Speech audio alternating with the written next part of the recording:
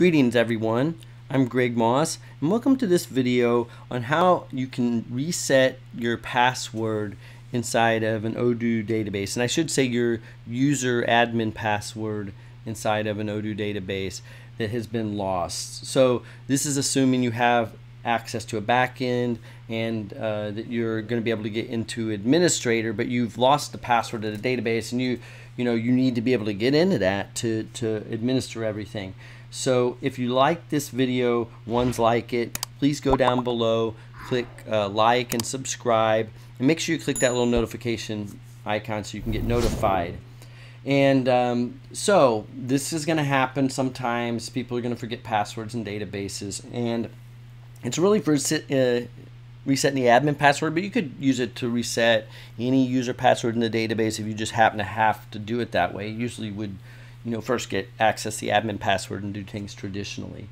So uh, what I've done here is I've logged into a terminal and I got this terminal at the bottom and I got some instructions up here at the top on how to do it. So notes on how it's done and uh, I'm using a little extension called VS Notes inside of VS Code. It's just kind of handy, but I'm going to do this inside of a terminal down here, so you can use this really with any terminal that you have access to uh, get to these uh, the Postgres database and run what you need to run inside of the Odoo context. So let's go ahead and get started right away. The first thing we need to do is get into the Odoo environment, and so we're going to do that by going to our Odoo 14 user and you'll need to do this for however you need to do this to get into your environment. That's not really, this is not about teaching you Ubuntu or teaching how to set up an Odoo environment or anything else. It's really for someone who already kind of knows how to administer these things. They just need to recover this password. Um, and so um, you need to go to you know where your environment is at or where everything's set up. And I'm using a virtual environment for my Odoo installation. So if you're not using a virtual environment, you might not need this step, but in my case I am. So I'm now in my Odoo virtual environment with my Odoo user. So I am now in a position where I can run anything that I need to, just like if Odoo was running it as an Odoo server. Now, you'll need to do the same on your system. If you have trouble with this, you know, I have lots of tutorials on odooclass.com. I also have a odooinnercircle.com uh, where I have uh, more one-on-one help for people that are really trying to administer servers and things like that.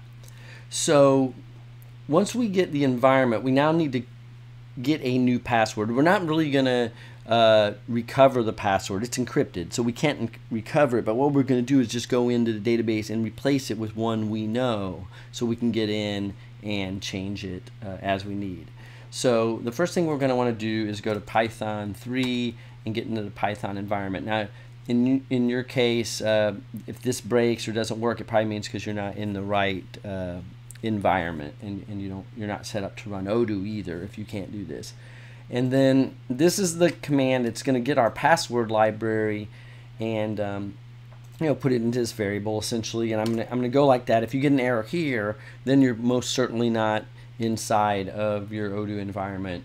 Um, next, we want to go ahead and get a uh, basically uh, a method that's going to allow us to create a password and that's when I'm going to come here and call it uh, this encryption to encrypt the password that we set here and I just need to come in here and instead of the what I have there I just want to put between the quotes exactly what I want. So I'm going to just call it new password. And so you ignore the brackets. Um, those are just so that we can get the, the visual context there so you can see this is where you change it. So this is what we're going to put and I'll hit this and notice it just shoots out this string. So it's really right here, everything between these two quotes. That's what our password is going to need to be set inside the database. It's, it's an encrypted version of new password. But once we place this inside the database, inside the right record, then we can use new password to log in. So let's go ahead now and get out of the Python environment. And so to get out of the Python environment, we can type exit, open close parentheses, or we could hit control D. And then we can also now get out of our environment uh, for Odoo. So we got out of our virtual environment by deactivating it, and now I'm going to get out of Odoo 14 by exiting it. Now, in Visual Studio, I didn't really need to do all those steps. I'm just going to show you a little shortcut. I could just come up over here and hit plus and open a new terminal and do what I need to do here. And I'm going to leave that other one open so I can get to our password.